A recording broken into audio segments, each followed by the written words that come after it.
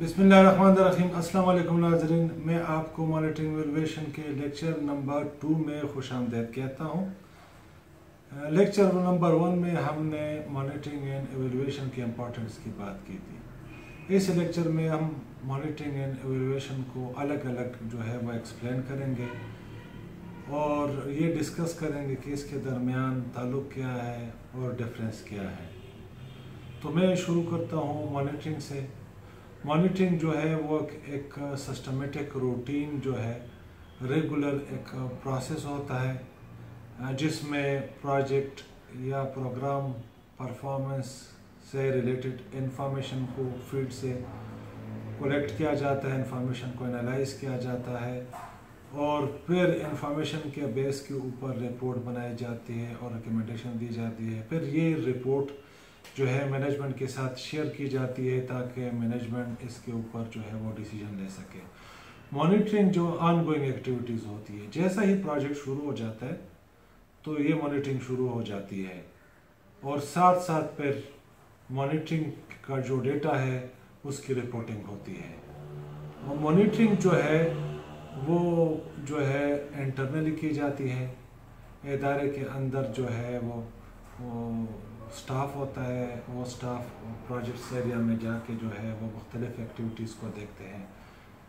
Monitoring میں جو ہے وہ ٹائم لائن کو بھی دیکھا جاتا ہے۔ یہ بھی دیکھا جاتا ہے کہ کون سی ایکٹیویٹی کب شروع ہونی تھی، کب کمپلیٹ ہونی تھی، کہاں پہ، کیسے، اور کیا اس سے بینیفٹس اس کو کوئی فائدہ بھی پہنچ رہے ہیں کہ نہیں۔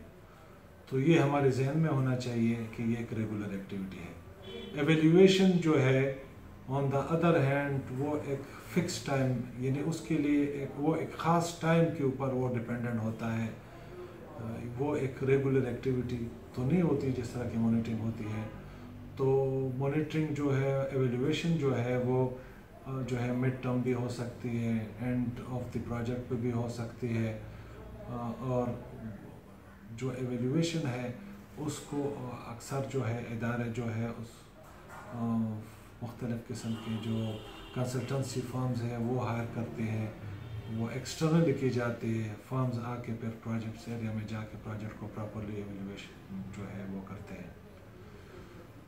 تو مانیٹرنگ جو ہے مانیٹرنگ کا ڈیٹا پھر ایویلیویشن میں کام آتا ہے۔ اس طرح ایویلیویشن کا رپورٹ جب بنتا ہے تو ظاہر ہے پھر اس سے جو ہے آپ کی مانیٹرنگ جو ہے وہ بہتر ہو جاتی ہے۔ کن کن ایریا میں مانیٹرنگ ہونی تھی جو کہ نہیں ہو کر پائی ہے، تو وہ بھی چیزیں وہ سامنے ایویلیویشن رپورٹ میں آ جاتی ہے تو ایویلیوشن کے مختلف قسم کے جو ہے وہ قسمیں ہیں مانیٹرنگ کی بھی قسمیں اور کائنڈ بہت ساری ہے۔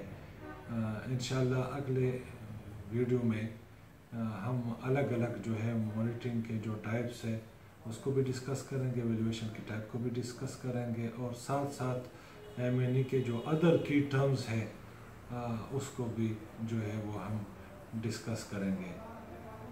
بہت بہت شکریہ۔ Thank you for watching this video اگر ابھی تک آپ نے اس چینل کو سبسکرائب نہیں کیا ہے، تو کائنڈلی چینل کو سبسکرائب کر لیجیے تاکہ آنے والے جو نئے ویڈیوز ہیں انفارمیٹو ویڈیوز ہیں، وہ آپ تک پہنچ سکے Uh, thank you for watching this video